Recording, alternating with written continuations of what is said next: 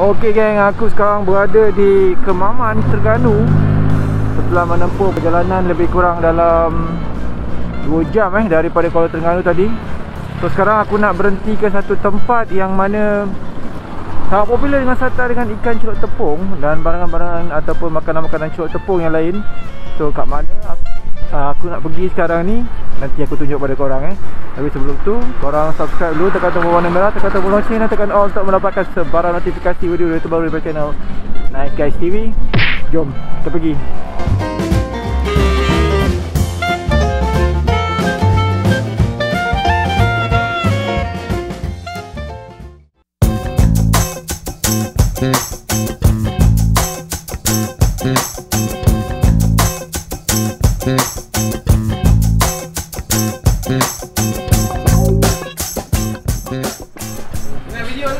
Ah video Video Ah This, this Saya sejuk ni sedap lah dekat api ni Panas panas tu eh.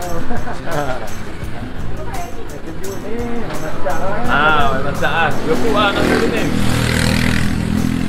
Ban, macam ban ha?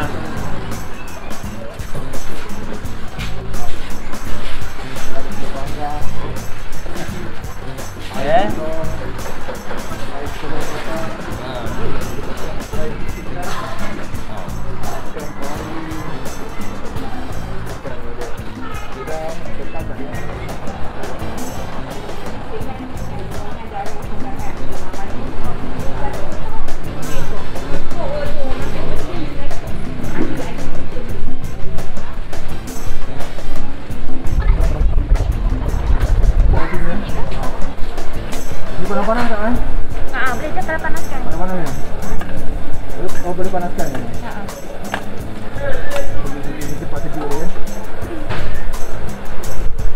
Macam mana ni?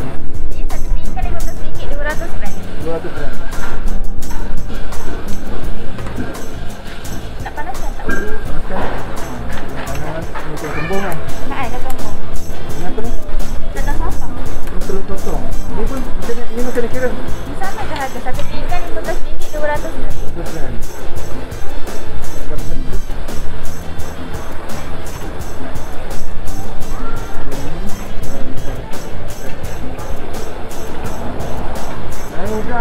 tu tak ada? Udang ketam Yang tak ada.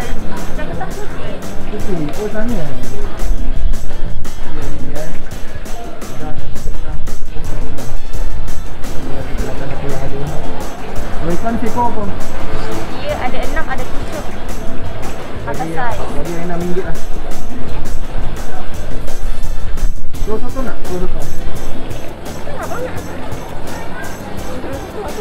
Telur dia 215. Sama lah macam sotong. Ha.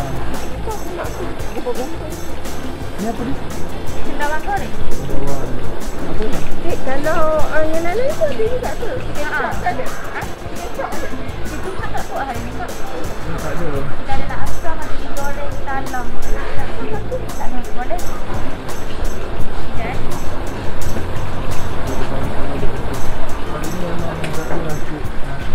Hari ni memang kita tinggal benda yang nak makan.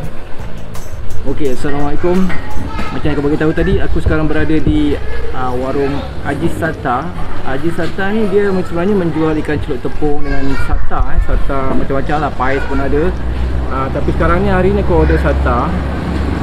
Sebab aku biasa makan kat sini eh. Uh, rasa sata dia dah okey lah. Tapi dah lama sangat.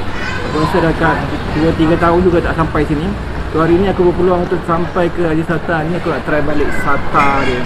Kemudian ni aku nak cuba juga dengan celup tepung hari ni.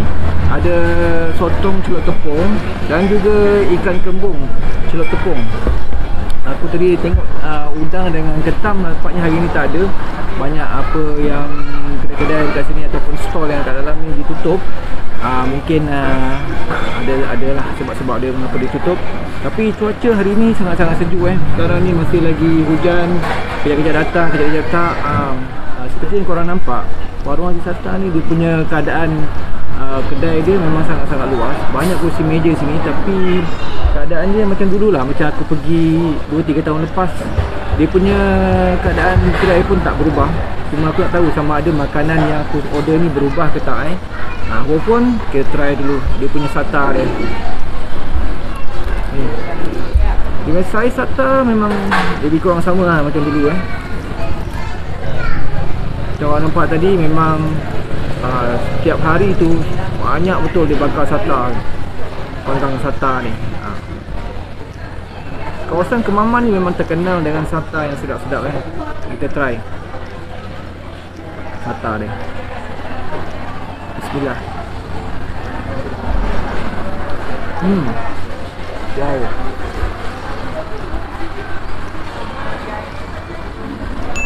Oh. Nak aku cakap sata dia ni memang tak berubah rasa dia. Dia punya um, masin, manis ni semua lengkap dalam sata ni. Dan yang paling penting dalam sata ni dia ada cili api yang menimbulkan rasa pedas. Kita try lagi satu kali. Oh, sedap eh. Okey. Kita kalau nampak ni ada potongan cili api eh. Oh, kita try eh. Bismillah. Hmm.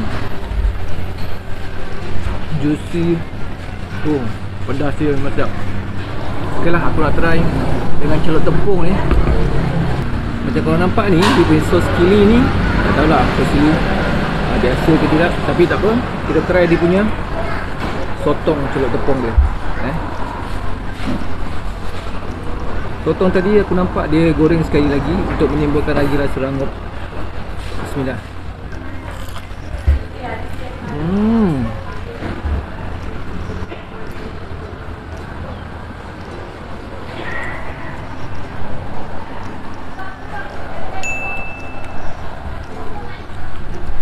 Yang paling penting eh? Dia sotong tu fresh. Guys, bismillah.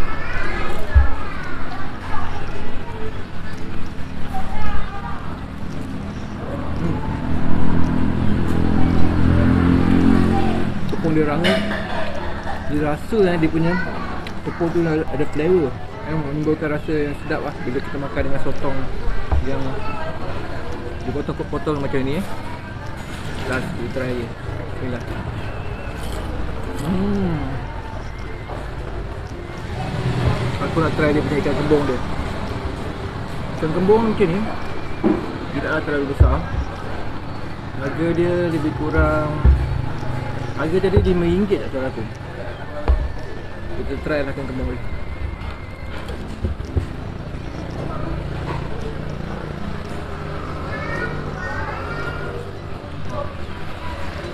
Okay. Bismillah Hmm Wow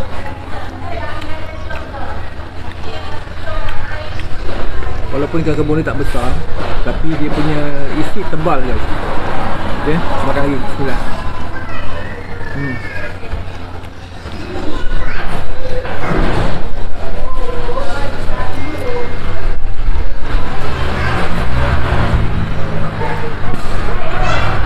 Okay, kat sini sebenarnya macam-macam Ada menu ada Ada chicken chop Ada nasi campur pun ada hmm, Kalau kata tengah hari mungkin uh, banyak lauk eh Untuk tengah hari uh, makan, uh, Untuk makanan tengah hari memang banyak lauk eh. Jadi masa sekarang ni Lebih kurang dah pukul dekat pukul 6 5 lebih macam tu Tapi lauk-lauk pun dah agak, agak kurang eh. Uh, Tapi pada aku Dia punya celup tepung ni Still sama macam yang aku pernah makan dulu. Jadi uh, aku rasa korang siapa-siapa yang uh, tinggal di Kemaman ni Korang boleh tinggal di uh, warung Haji Sata ni Terbaik dia punya Sata tu memang tak berubah langsung rasa dia. Dan korang kalau pergi ke Kemaman ni kena rasa Sata dia. Ok guys, aku rasa itu saja untuk kali ini Kita jumpa lagi di video yang berikutnya di kedai makan mana. Dan kita tengok video yang berikutnya. Ok, jangan lupa untuk subscribe Tekan tombol warna merah tu, tekan tombol loceng dan tekan all untuk mendapatkan sebarang notifikasi Video-video terbaru daripada channel Nice Guys TV Kita jumpa lagi di video berikutnya. Assalamualaikum warahmatullahi wabarakatuh